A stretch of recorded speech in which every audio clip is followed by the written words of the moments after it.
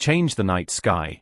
Could Betelgeuse soon explode into a supernova, marking the end of its life in a spectacular and unimaginable burst of energy?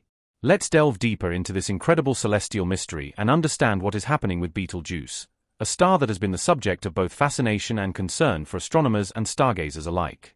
Nestled in the constellation of Orion, Betelgeuse is a red supergiant star, massive and ancient beyond our comprehension. It has long been known for its unique reddish glow and its fluctuating brightness. But recent observations have sparked intense interest, especially with the discovery of dramatic shifts in its behavior. The immense size of Betelgeuse. At approximately 764 times the size of our Sun, Betelgeuse is an absolute giant of a star. To put this into perspective, imagine a star so massive that if it were to replace our Sun, its surface would extend well beyond the orbit of Mars, enveloping not only Mars, but also Mercury, Venus, and Earth. Betelgeuse sheer size alone speaks to the tremendous scale of this celestial body and the extraordinary processes unfolding within it. However, its size is not the only thing that makes it noteworthy. The red supergiant phase.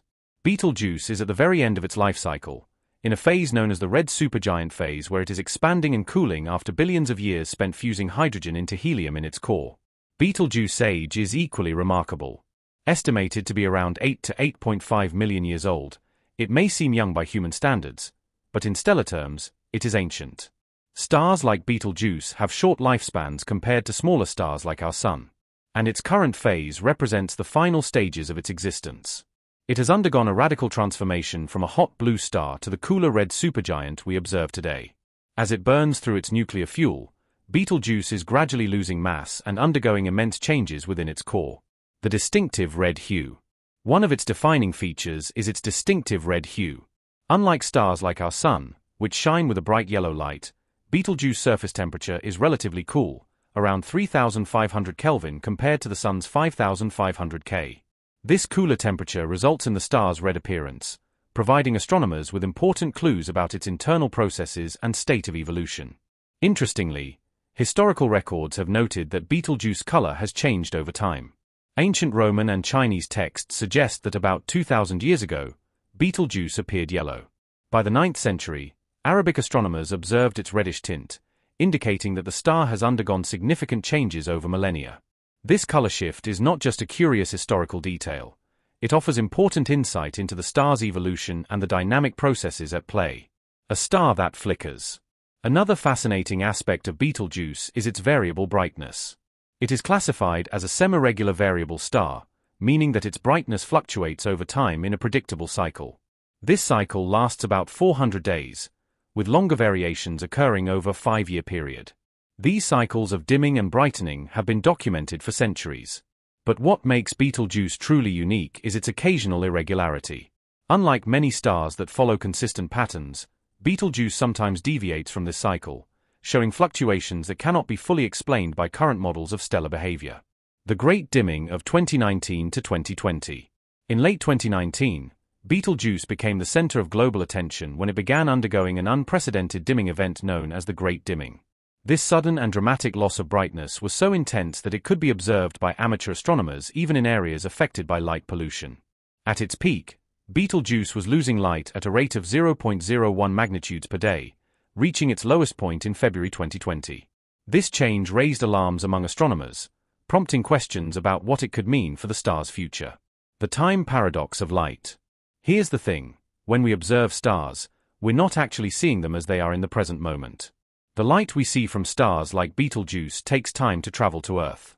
Betelgeuse, one of the most fascinating stars in our night sky, is located approximately 725 light years away from Earth. This means that the light we observe from it today actually began its journey toward us around 725 years ago. In other words, when we look at Betelgeuse through telescopes, or even with the naked eye, we are witnessing the star as it was centuries ago, not as it exists in the present moment. This concept, known as the light travel time effect, is fundamental in astronomy and applies to all celestial objects beyond our solar system. Because of this significant time lag, any sudden changes in Betelgeuse brightness that we observe today actually occurred in the past. If the star were to undergo a major transformation such as a supernova explosion, we would only become aware of it centuries after it had already happened. This creates a unique challenge for astronomers attempting to study Betelgeuse's current state. Unlike events on Earth, Where real-time observations allow for immediate responses, studying distant stars requires interpreting historical data while making educated predictions about their present and future behavior. Scientific investigations. Betelgeuse has already exhibited dramatic variations in brightness, such as the Great Dimming Event of 2019 to 2020, which led scientists to investigate potential causes, including mass ejections and dust clouds. However, due to the time delay in its light reaching us, researchers cannot be certain whether Betelgeuse is already in the final stages before a supernova, or if it still has tens of thousands of years left in its life cycle.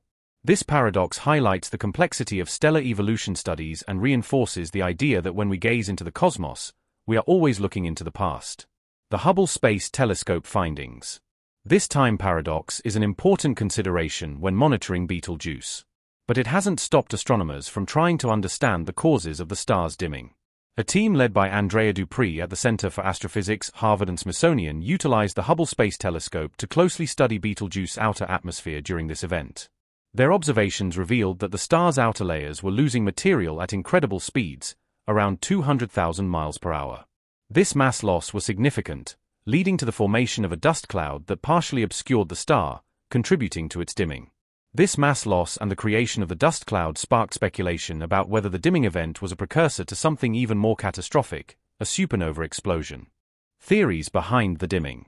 Several theories have emerged to explain the cause of the dimming. 1. Supernova precursor. The star may be going through a late stage in its life cycle, inching closer to a collapse. 2. Dust obscuration. Material shed by Betelgeuse could have created thick clouds that block its light. 3. Photosphere changes. Alterations in the star's visible surface layers may have caused the apparent dimming. Further analysis revealed that the dimming might have been caused by a significant ejection of material from Betelgeuse, which then formed the dust cloud. This ejected material was likely superheated plasma from a large convection cell on the star's surface.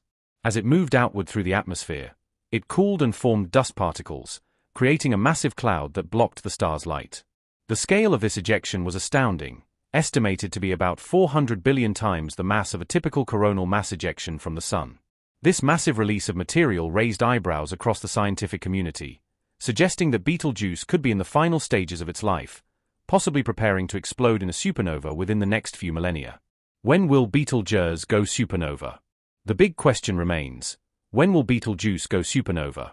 Some astronomers believe the event could occur within the next few tens of years, while others speculate that it might take up to 100,000 years.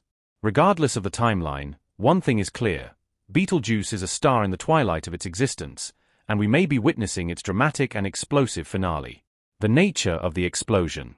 Should Betelgeuse explode in our lifetime, it will be a core collapse supernova. This type of explosion occurs when a massive star can no longer sustain its own gravity and collapses under its weight. The explosion will release an incredible amount of energy, more than the sun will emit in its entire lifetime, and will briefly outshine the moon, making it visible even during the day. Fortunately, despite Betelgeuse proximity, Earth will remain safe from any immediate danger. Why it matters. However, the scientific value of observing a Betelgeuse supernova is immeasurable.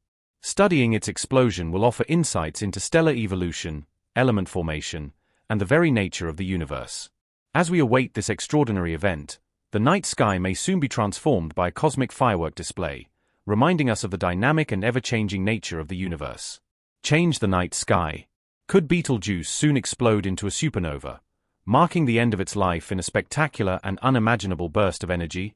Let's delve deeper into this incredible celestial mystery and understand what is happening with Betelgeuse, a star that has been the subject of both fascination and concern for astronomers and stargazers alike.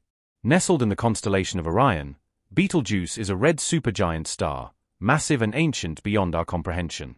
It has long been known for its unique reddish glow and its fluctuating brightness.